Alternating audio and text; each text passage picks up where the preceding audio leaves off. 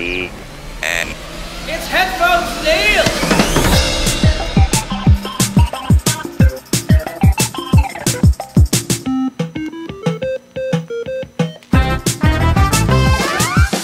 Headphones Neil. Headphones Neil.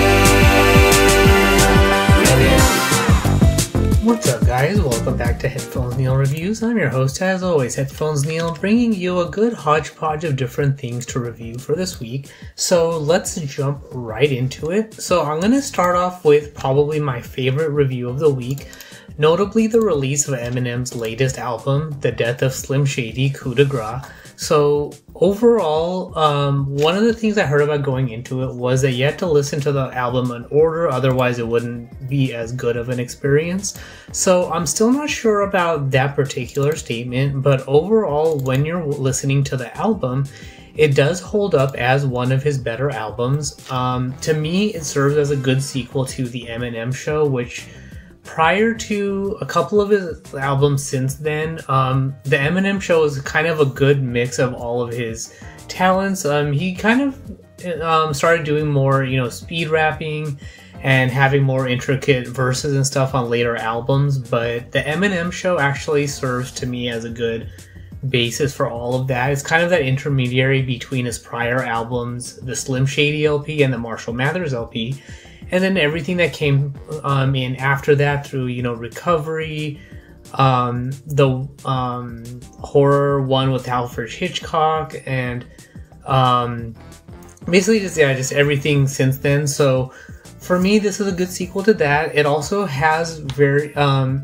various beats and um, inspirations from his other albums. So um, notably in the name where he's you know killing off the slim shady character so there's a lot of um, connections to that album and then you know similarities in style to you know songs from recovery the marshall mathers lp a few other um, albums after that and all of that so um, it serves to show his growth since those early albums in his career. Um, so if you're an Eminem fan, then I definitely recommend giving the album a listen.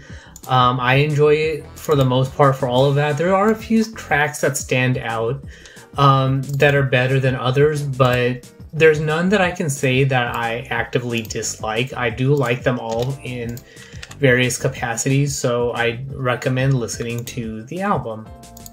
Um, in other news, we had the season finale for Star Wars: The Acolyte. So, on the to do a comparison to something I liked this week, um, something that did not hold up by the time we got to the finale was um, the Acolyte season one. So. Um, one of the things that st- the show started off interesting to the point where you wanted we wanted to learn about um, Osha and Mae, the current status of the Jedi Order. But by the time we get to the season finale, the thing that stands out for the show is all of the um, visuals of it. So the lightsaber battles, um, the locations, the Night Sisters, and then, like, notably in the season finale, that starship battle through the asteroid field. So when you are. Um, um, going watching the finale, things like that will stand out as good but the um, season doesn't actually resolve anything to me. So uh, we learn about Osha and Mae as a vergence in the Force, um, that they're you know good light side, dark side in their personalities. Uh, we have this mysterious um, Sith, supposedly Sith warrior. We have the Jedi trying to find out what happened. You know, um, Sol's Jedi friend from Coruscant now coming after him to find out what happened to the Jedi search party. But beyond that, they don't actually solve anything, figure anything out. You know, Mae ends up going, or Osha, the light-sided twin, ends up going with that Sith guy. Um, but we, and then we have in the season finale the um, teaser for Darth Plagueis hiding out in the shadows, kind of along the lines of like a Gollum kind of character, where he's he doesn't really give the presence of a Sith Lord. We, we kind of get the presence of um, someone who's losing his power. So um, potentially he, and speculating now, all I could think of was that he might be low on his power and he's trying to look for someone's um, life energy to suck their power from. Um, so that that would kind of explain how um, Sidious was able to drain the life force from Rey and um, Ben Kenobi from the Rise of or from yeah from the Rise of Skywalker. Um, so potentially that's why we see him in his weakened state, and we have his apprentice or acolyte going out into the world. Um, and then probably we see him in the shadows because he now because maybe his um, apprentice was looking for a new um, apprentice of his own to take on Plagueis, and now that Plagueis knows this, he's going to take him out or something. But all of this is speculation. None of that was actually relayed in the show. We have no other um, presentation of Plagueis, what he's up to, what the Sith are up to, why they are doing what they're doing. Is there a connection with the Night Sisters or not? Um, or the Night Sisters working on the orders of Plagueis to create this um, vergence in the Force? So I guess they always say that a, the good sign of storytelling is they leave you asking questions and want leave you wanting more. But in this case, I kind of take away from that because they didn't bring us enough to say that uh, they didn't like they started answering questions but didn't really answer anything. So a lot of this season could have been accomplished in the first four episodes, or we need another eight episodes to complete out the rest of the story um, to the point where that's why to me the revelation of um, Plagueis in the finale, along with Yoda as a, at the very end of the episode, serves to me as more of a mid-season finale rather than an actual season one finale or any season finale because they weren't introduced at any other point in the episode and uh, no one ever went to talk to them. We didn't know that they existed until the very end of the season. So for me, I'm happy that my theory that this is going to be related to Plagueis it um, happened, but they didn't go far enough. They didn't tell us a good enough story to actually leave me wanting. I, mean, for me as a Star Wars fan, I do want more. I do want a second season to um, find out what happens, get more of the Plagueis story arc. Let's connect more of the um, Old Republic to the um, Empire, to the prequels, and all of that but all of this did, wasn't actually presented well in the acolyte to the point where we can say that okay yeah we see this stuff going on. We know that you know even if it's a um you know a, a quick few scenes in one of the episodes in the finale. So like for example with plagueis if we didn't need to see, if we saw you know him standing in his lab overhearing the conversation with his apprentice and osha and realizing that his apprentice is looking for an apprentice and he needs to get rid of him to teach him a lesson or whatever like show that so we actually have that connection. It could have been a simple you know 30 second scene to explain that at that in the season finale. And then same thing with um, master yoda. Um have, keep that you know end of episode revelation but um ha- show him you know calling on the the jedi lady that was working with Sol and say, you know, I need to speak with you, come to my chambers and talk about it or actually have a conversation between the two and say, you know, Master Yoda, I have the information you were looking for, or I have some information that requires your attention, and have him reply with, you know, something Master Yoda would say with, you know, uh, even have him repeat what he said in the prequels, like, um, is this related to a vergence in the force or something? And then end it there like have a proper conversation between the two. So that's why for me i kind of give that season a grade of around a c plus to b minus. Like i said the visuals were good. The base story was fine but they didn't tell enough in eight episodes. They were kind of stringing us along and doing a lot of the same story from different points of view. So um, that's why it's kind of hard for me. I mean, I say as a Star Wars fan to rec- I recommend watching it, but um, in general, it was an okay um, season. So it's like, all right, well, I guess now I'm gonna string myself along and say, all right, well, let's see what they do in the second season and if they explain more of the story or do the same story from the point of view of Plagueis and what he's been doing and provide more of that backstory to round out the first season. I guess that would make it a little bit better, but um, so that's kind of where I'm at with it. I could, I'll, I guess, adjust my grading if we do get a better story for season two.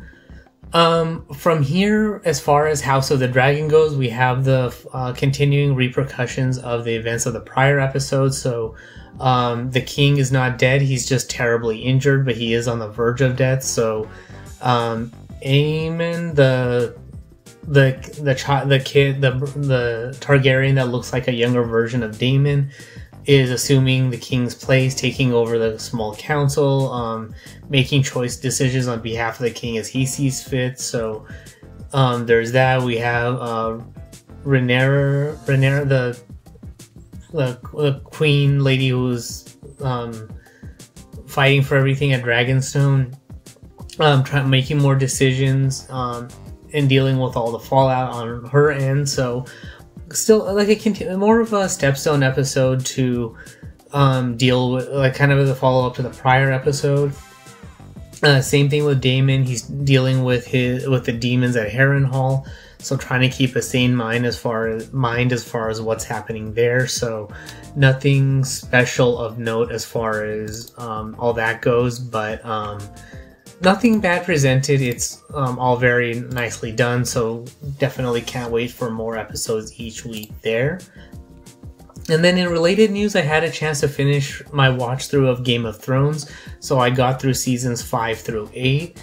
And overall, for me, I still hold to the theory that overall the final seasons were not terrible. I still maintain that when you have um, you know, I'll say 15 storylines. I think that's the number I used before. And now you're down to three. Of course, the story is going to feel like it's moving faster than it did because you don't have as many stories to deal with. You know, in the beginning, you you have to deal with all the families, all the locations, King Land, King's Landing, um, Varys, and Littlefinger, uh, the Targaryens across the sea, the Dothraki. You're, um, and then you know you're dealing with the War of the Five Kings. You're de- the Red Wedding and all of that stuff and then you're moving into the you know you, then also you add on top of that Jon Snow and the uh, White Walkers, the Night's Watch, um, him dying, coming back to life, and all of that. So once you start narrowing, uh, you know, taking away all those storylines and focusing on just the Starks, the Targaryens, and the Lannisters, and actually my number of three makes a lot more sense. That you know, we go from fifteen to three. That actually is the reason why the ending seems really rushed and fast. As far as the season finale, the thing that still bothers me is that they call Brand Bran Bran the Broken, which kind of still annoys me. It's like call, stop calling him like he's on one hand Tyrion calling him that is one thing because of his whole thing in um, the, f- the first season when he's talking to Jon, Jon about use what they're gonna use their name calling to your advantage as and as a shield and it'll never hurt you. So that that's on one hand, but on the other hand, um, you know, call him Brand the Builder, Brand the Rebuilder, or whatever, and do something more on a positive note and take it from there. Um, so I don't mind him being the king, but the only thing for me personally, like, not to nit, I mean, to nitpick the ending, I would have actually preferred that they made Jon the king because he didn't, you know, the whole thing with Varys, that he was right and because Jon kills Daenerys, that that all works out. Have them all elect Jon the king, um, and the whole thing with him and Grey Worm, that Grey Worm doesn't, um, like that Grey Worm wants him to um, die for killing their queen. Um, either explain that to him better, or you know, exile them, let them, you know, the whole thing with Sansa and the, um, you know, all the northern armies there to fight the Unsullied, and say that they're not um, fighting or they're not making Jon the king because he, you know, as a reward for what he did. They're, you know, it's not a punishment either, but also they fought together. They killed her because of what she was doing. She's doing these things to free people, but then she's going crazy herself. Like he has to understand these nuances and not following blindly. That's what got them into trouble to begin with. So, um, make it so that he's exiled to not that they're not punishing him for and they're not exiling him but they're like they're accept they're you know accepting that of what they did to help get them to where they are but Daenerys destroyed the entire city she you know she didn't have to do that but she did it anyways so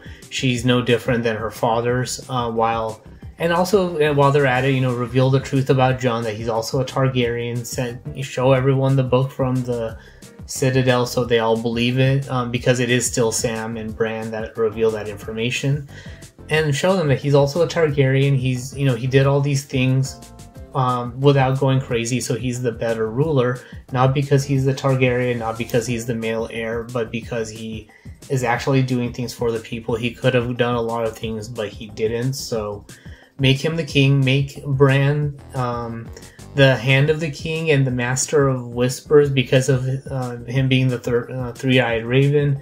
Um, make Sam the um, Grand Maester.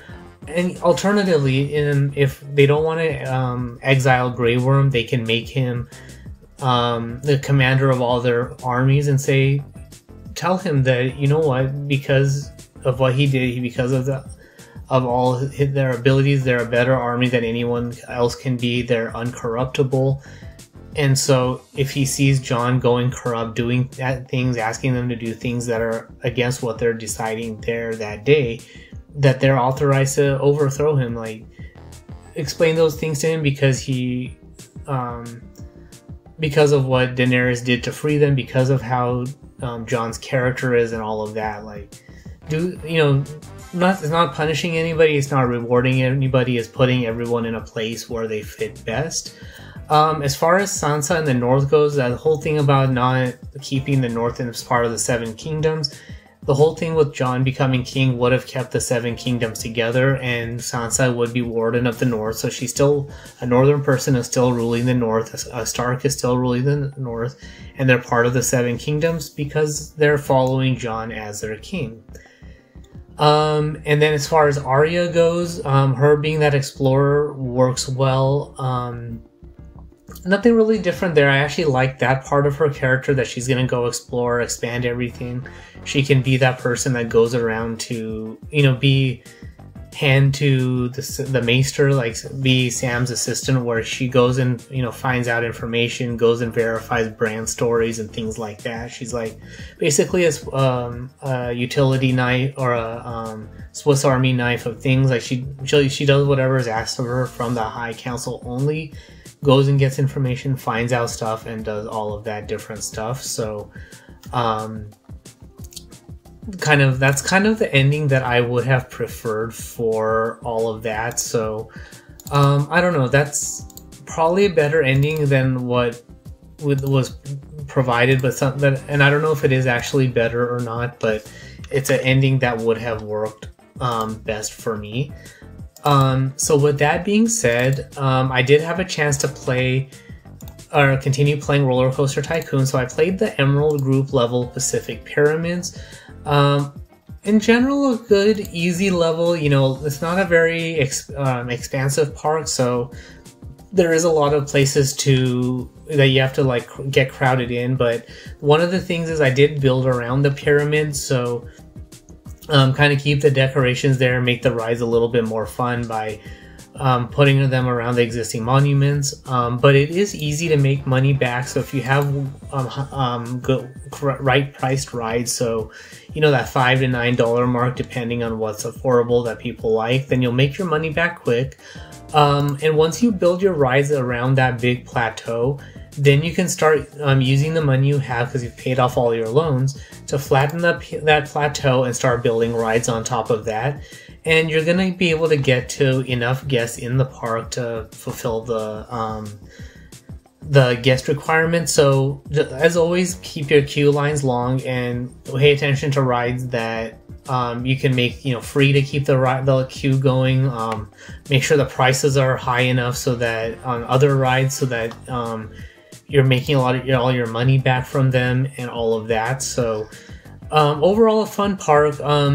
Towards the end, I did have enough people, but I also did have money, enough money to um, build more rides. So I kept doing that and playing around with it on the plateau. But overall, not too much to say. It is a tight park, so do pay it. So you do have to work a little bit at getting enough guests in there. But like I said, keep your queue lines long and build around the pyramids and around the plateau through the plateau and all of that, and you should have enough room to build all your rides and fulfill the requirements.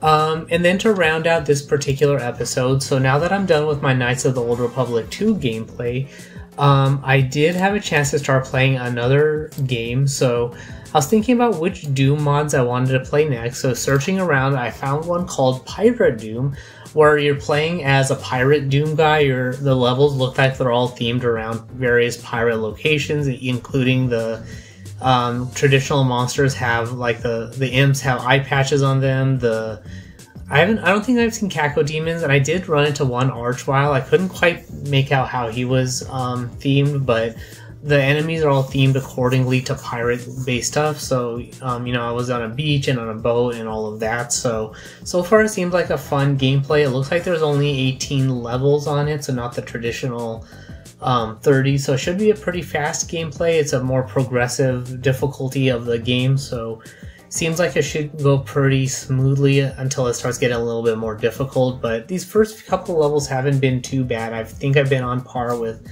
myself as far as the time it takes to get through them. Um, but overall, I'm enjoying it. So uh, look out for those gameplays on the YouTube channel. The first few are already up there. The show notes will have the link to the playlist, but they're all up on YouTube at youtube.com slash pateln01. So once I'm done with that gameplay, I'll have a full review, but early thoughts are that it is a pretty fun gameplay and I'm enjoying the theming around it, notably the levels and the weapons and the character or the enemies.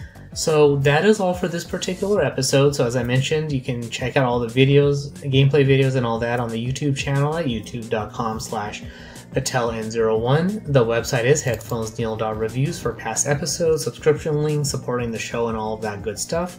For early access to the show, um, along with the early access to the YouTube version, you can visit or support the show on Patreon at patreon.com slash pateln01. But that is all for this particular episode. Thanks for tuning in, and until next time.